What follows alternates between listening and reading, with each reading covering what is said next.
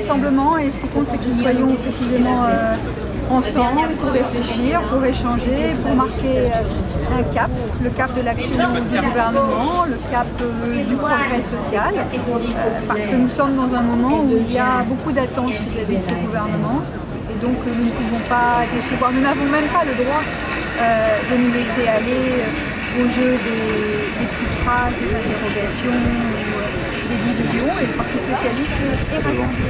C'est la raison pour laquelle les thèmes qui sont abordés dans cette université ne sont pas des thèmes très clivants.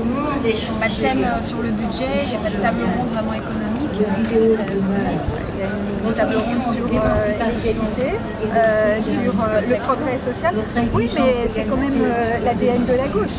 Donc vous, ce que vous voulez, c'est qu'il y ait de l'affrontement, de la division.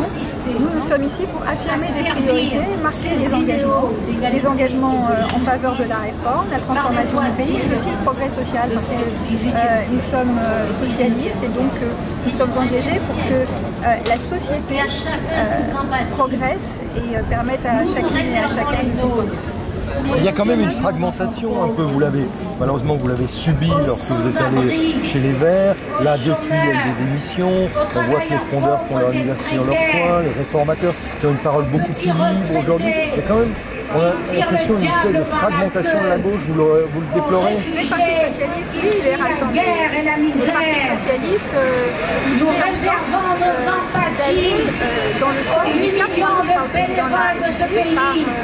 Nous réservons nos sympathies à vous, les militants, pour votre générosité.